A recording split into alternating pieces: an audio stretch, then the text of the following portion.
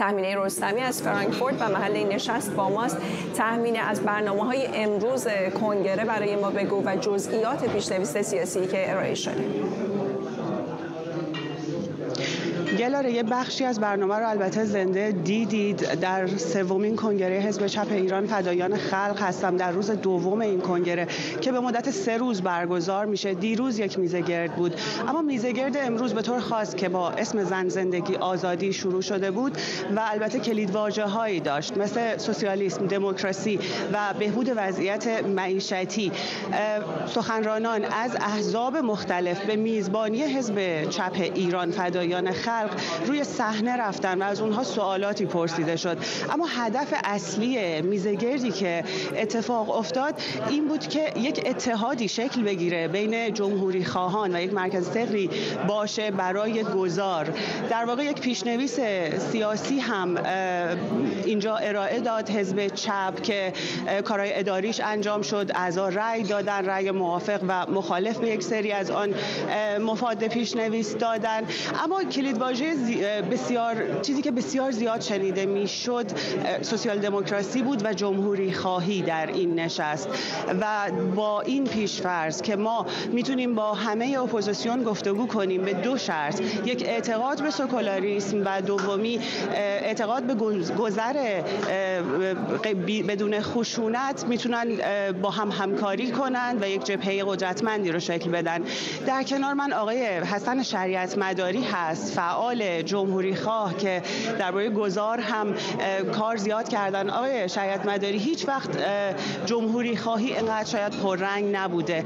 آیا این اتحاد رو شما عملی می‌دونید؟ و اگر این اتحاد شکل بگیره قرار هست چه اتفاقی بیفته برای گذار؟ بله ببینید جمهوری خواهی در حقیقت به نظر من یک جمهوری فدرال آینده ایران هست.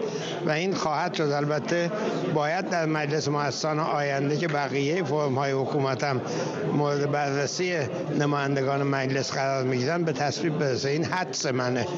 و چون من خودم رو یک جمهوری خواه دموکرات سکولار می‌دونم و به فدرالیسم هم معتقدم وقتی من رو دعوت کردن وظیفه خودم دونستم که بیام و در این جهت کنگره رو تشویق کنم. خیلی خوشحالم که پیشنهادهایی که داشتم با دوستان صحبت کردم مورد توجه هست.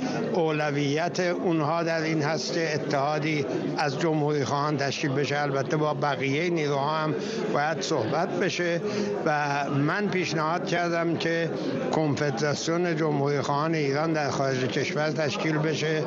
برای اینکه از یک طرف یک تشکیلات بازی است و عضویت در اون الزامات چندانی نداره. از یک طرف متناسب با طیف بسیار گسترده جمهوری خواهانه که شامل شخصیتا، گروه های حقوق بشری و مدنی و احزاب سراسری و احزاب اتنیک هست. 60 درصد ایران رو جامعه اتنیک جمهوری خواه تشکیل میده.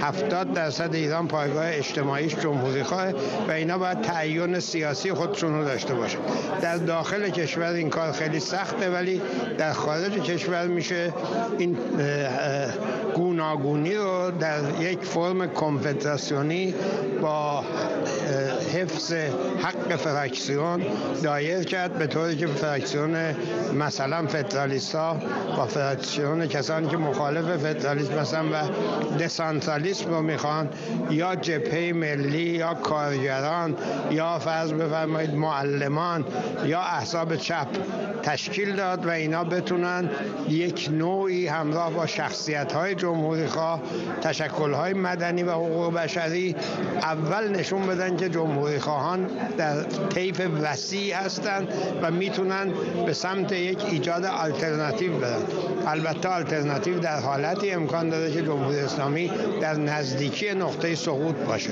هنوز تا اون محل فاصله داریم. ولی در این فاصله می‌تونن نشون بدن که می‌توانند با هم کار کنن گفتمان های سابق عوض شده. گفتمان ها گفتمان های شده که با نسل جوان و زنان مشترکه و می‌تونه اونها رو جذب کنه و این خب یک کوشش بسیار بزرگی است که امیدوارم این کنگره مقدمه برای موفقیتش باشه. متشکرم. همونطور که گفتن در پنل که در سخنرانی ها یکی از انتقاداتی که وارد بود این بود که فعالیت زنان و جوانترها در احزاب همین الان ضعیف هست. ولی به طور مثال دو حزب کردی که سخنران داشتن روی صحنه دفاع کردن و گفتن که خیلی از زنان ما زنان کرد در واقع در خط مقدم فعالیت های حزبی هستند. ممنونم از شما. ممنونم از تو. تحمینه از گزارشی که تهیه کرده بود و همچنین گفتگو حتما سعی می‌کنیم در بخش بعدی خبری به تو برگردیم. تحمینه رستمی از فرانکفورت.